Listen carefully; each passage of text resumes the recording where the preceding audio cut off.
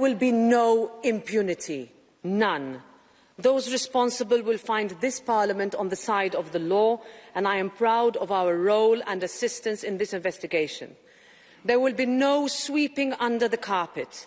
We will launch an internal investigation to look at all the facts related to the Parliament and to look at how our systems can become yet more watertight. There will be no businesses, business as usual.